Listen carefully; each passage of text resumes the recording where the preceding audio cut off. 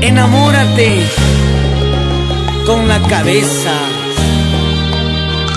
pero no con el corazón.